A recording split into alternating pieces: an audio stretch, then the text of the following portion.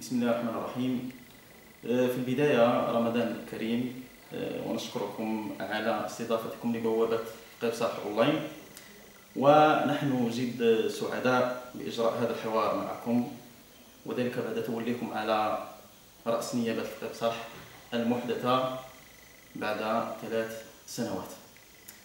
آه، السؤال الأول في البداية نود أن نعرف من هو السيد النائب محمد الشمي وكيف جاء اختيارك الانتقال إلى هذه النيابة إذا رمضان مبارك كريم. أنا كذلك سعيد جدا بالالتقاء معكم.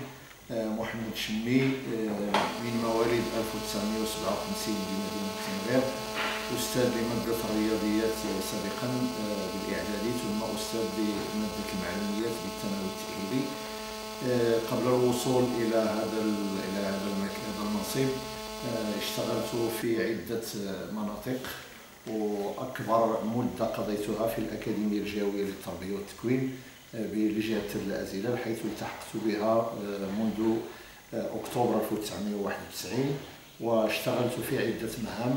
في الامتحانات لمدة 13 سنة تقريبا امتحانات البكالوريا ثم رئيس لمصلحة الموارد البشرية والاتصال لمدة ست سنوات من 2003 إلى 2009 ثم نائب إقليمي إقليم تنغير آه، لمدة ثلاث سنوات وتم اختياري للرجوع للإشراف على آه، على نيابة بن صالح وأنا وأنا سعيد جدا آه، بهذا الاختيار لأنني أعتبر نفسي أنني رجعت إلى مكاني الأصلي وجهتي الأصلية. شكرا أستاذ على هذه الورقه التعريفيه آه، نستهل أسئلتنا المدرجة في هذا الحوار. بالسؤال التالي ما تقييمكم لحصيلة الموسم الدراسي؟ الحالي 2012-2013 وخاصة على مستوى النتائج في الأسلاك الثلاثة الابتدائي والإعدادي والثانوي. وما هي الأجواء التي مرت فيها الامتحانات الإشارية لهذه السنة؟ آه، شكرا. اذا آه، حصيلة نيابة الفقيه بن صالح كانت آه، حصيلة إيجابية جدا. ليس فقط في مجال الامتحانات الاشهاديه كذلك في مجال تنشيط الحياة المدرسيه حيث أن هذه النيابة حصلت على نتائج مشرفة جدا في الرياضة المدرسية على الصعيد الوطني كما أنها نظمت عدة أنشطة كيوم الفلسفة لقاء مع كتاب المغرب بمدينة الفقيه صالح إلى غيرها من أنشطة تربوية مختلفة. بالنسبة للامتحانات الإشهادية فقد حصلت نيابة الفقيه بن صالح على مرتبة مشرفة جدا حيث بلغت نسبة النجاح في امتحانات البكالوريا 64.45 في المئة وبمقارنتها مع مع النسبة الوطنية 52% يتبين أنها نسبة مشرفة جدا.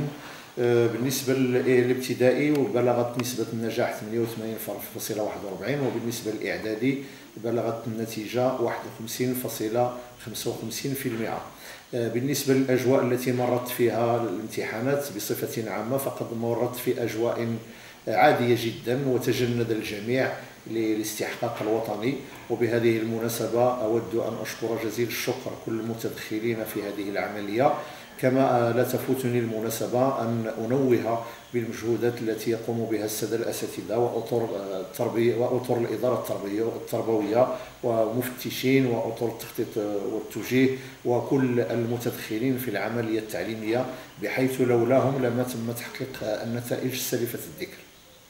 نعلم أستاذ على أنكم توليتم تسير هذه النيابة في منتصف هذه السنة هل من مشاكل بعد توليكم المسؤولية لهذه النيابة مثلا ضعف البنية التحتية قلة الموارد البشرية في النيابة وهل تمت معالجة ذلك؟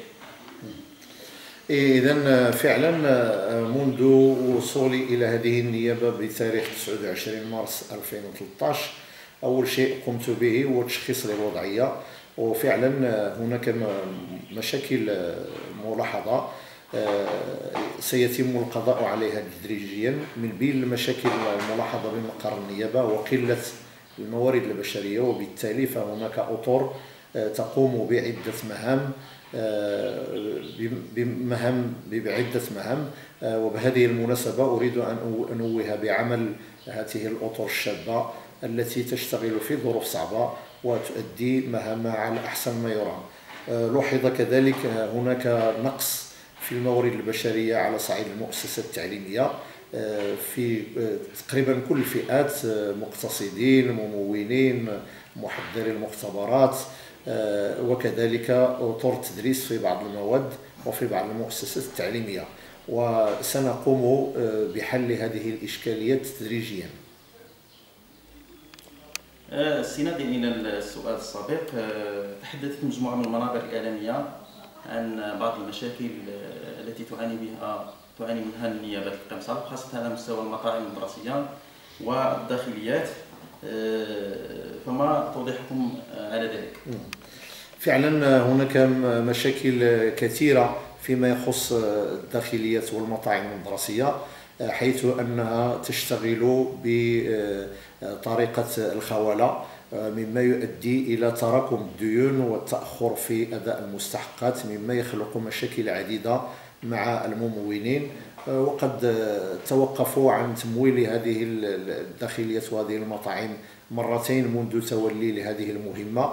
ولكن في السنة للقضاء على هذه المشكل قمنا بإجراء صفقة إطار يوم 21 يونيو 2013 وهي في المراحل الأخيرة. حيث ستتم المصادقة عليها للبدء بالعمل بها في بداية السنة المقبلة. وهذا هذا الصفقة الإطار نتمنى أن تكون أن تكون حلا نهائيا لهذه المشاكل. كما أننا سنقوم جاهدين باتخاذ كل الإجراءات حتى نمكن السادة الممولين السادة المزودين بمستحقاتهم المالية عن المواد التي كانوا كانوا يمولون بها تلك المطاعم وتلك الداخليات. تعرف المؤسسات التعليمية بالإقليم بعض الظواهر كظاهرة الاكتظاظ ولا زالت هذه الظاهرة تعرف تزايدا بعض الشيء هذا بالرغم من إحداث مجموعة من المؤسسات التعليميه بالاقليم كمؤسسات ابن الخطيب بالقبصه ومؤسسه 30 يوليو بالسوق السبت لكن لم يغير ذلك في الوضع في شيء فهل من فهل هناك من حلول لهذه الظاهرة في السنوات المقبلة إن شاء الله؟ فعلا ملاحظة في محلها لأن هناك بعض المؤسسات التي تعرف اكتظاظا نظرا للإقبال على التمدرس هناك حلول في الأفق. اولا البحث عن موارد بشرية وللإشارة فقد استفاد الإقليم هذه السنة من عدد مهم من عدد مهم من الموارد البشرية. أكيد أنها ستساهم في حل هذه المعضلة. ابتدائي استفاد الإقليم من 32 إطار جديد الإعدادي 38 إطار جديد في مختلف المواد وبالنسبة للثانوي التأهيلي 63 إطار جديد في مجموعة من المواد. بالإضافة إلى ذلك وحتى نخفف على بعض المؤسسات التعليمية التي تعرف ضغطا في الثانوي التأهيلي فقد تقرر فتح سلك الثانوي التأهيلي بثلاثة مؤسسات. أم الربيع بجامعة حد البرادية يوسف بن تشافين والموحدين بجامعة الخلفية بالإضافة إلى إحداث شعبة للتقني الصناعي بالثانوية بالثانوية الإعدادية التغناري بالإضافة إلى ذلك كذلك سيعرف الموسم الدراسي المقبل فتح إعدادية بأولاد علي. هذه الإعدادية أكيد أنها ستخفف عن المؤسسات التعليميه بحد البرديه وستجنب آه، التلاميذ عناء التنقل إلى حد البرديه. آه، على مستوى الموارد البشرية يلاحظ الاستاذ على أن هناك هذه ملاحظه ديال مجموعة المهتمين بالشأن التربوي أن الموسم الدراسي الحالي آه، عرف خصائصا في بعض المواد الدراسية في بعض المؤسسات التعليمية التابعة للإقليم إلى ماذا يعزى ذلك وهل سيتم تضارب الأمر في الموسم الدراسي المقبل؟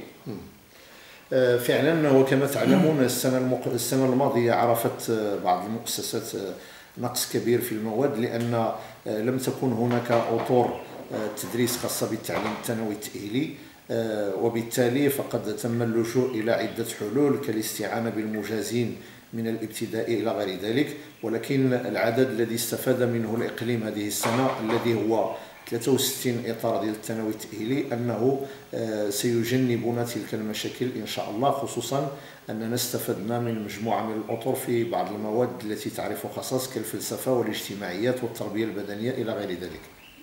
ارتباطا بالسؤال السابق السيد آه، النائب وفي سياق الحديث عن الحركة الانتقالية تعتبر نيابة القيصر آه، من النيابات التي تعرف ضآلة على مستوى الحركة الانتقالية سواء منها الوطنية أو الجهوية آه، فما هي الأسباب وراء ذلك؟ آه، آه، فعلا يعني أنه مدينة إقليم الفقيه بن صالح يعرف ضآلة في الاستفادة في الحركة لعدة أسباب اولا لأنه إقليم قريب من من مجموعة من الأقاليم الأخرى كبني ملال وخريبكا إلى غير ذلك ولكن هذه السنة آه، استفاد مجموعة من الأطر آه، التربوية من الحركة الانتقالية سواء الوطنية أو الجهوية حيث أن الوضعيه بالنسبة للحركة الوطنية فقد آه، في الثانوي التأهيلي يعني الوضعيه ناقص خمسة يعني أن هناك إذا احتسبنا الوافدين على الإقليم والخارجين منها فالوضعية ناقص خمسة يعني أن هناك استفادة في مجال في التأهيلي بالنسبة للإعدادي هناك الوضعية ناقص واحد ولكن آه، لوحظ أن هناك إقبال من طرف أساتذة التعليم الابتدائي وهذا طبيعي جدا لأن مجمل مجموعة من الأطر التي تشتغل في, في بإقليم المجاور إقليم زلال تفضل آه، أن تشتغل سواء بنيابة بني ملال أو نيابة الفقيه بن صالح. آه، يعاني الوضع التعليمي خاصة بالعالم القروي من عدة مشاكل. التي تعرق تطبيق الفعلي لكل الاجراءات المتعلقة بتحسين جودة التعليم. أستاذ ما هي في نظركم السبل الكفيلة لتجاوز ذلك؟ آه، فعلا هناك مشاكل بالعالم القروي. آه، ولكن مقارنة مع الأقاليم الأخرى آه، يعني أؤكد لك بأن هذه الإقليم فيه مشاكل ولكن ليست بالشكل الذي توجد فيها أقاليم أخرى وذلك لعدة أسباب. أولا الشبكة الطرقية بالإقليم يعني آه، لا بأس بها وإن لم أقل أنها آه، جيدة. آه، الإشكالات الأخرى المطروحة بالعالم القروي هو يعني هناك عدم استقرار الأساتذة الذين يتنقلون بين مقرات عملهم ومقرات سكنهم مما يؤثر على الأداء. هناك كذلك مشكل ديال البنية التحتية ولكن نحن بصدد يعني تشخيص الوضعية للتدخل خصوصا فيما يخص توفير التجهيزات والبنية التحتية وتوفير الأطر الكافية للتندرس بالعالم القروي. إسوة بالحواضر. أه، أستاذ على مستوى التواصل مع الفرقاء الاجتماعيين أه، نقابات أه، جمعيات المجتمع المدني السلطات المحلية كيف تتعامل النيابة مع هؤلاء الفرقاء مع العلم آه، أنهم يعتبرون شريكا أساسيا في نجاح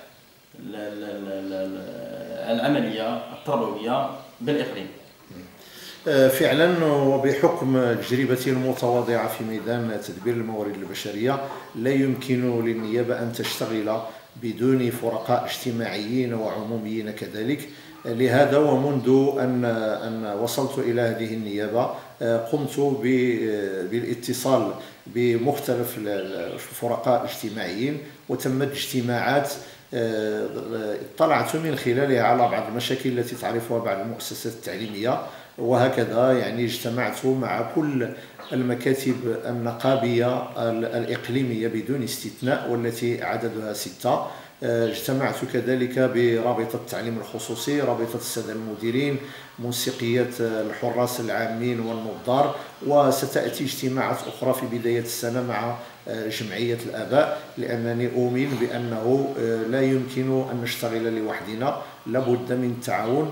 بالنسبة للسلطة المحلية هناك تواصل دائم وهناك تعاون وبهذه المناسبة أريد أن أشكرهم جزيل الشكر على مساندتهم لنا في أداء مهامنا بالإقليم آه، هناك مشكلة على مستوى التعويضات لبعض الموظفين ورؤساء المصالح العامين بالنيابة آه، طرحت في مجموعة من المنابر الإعلامية وشكلت آه، هاجسا لدى بعض الموظفين كيف تمت معالجة هذه القضية بالنسبة إليكم؟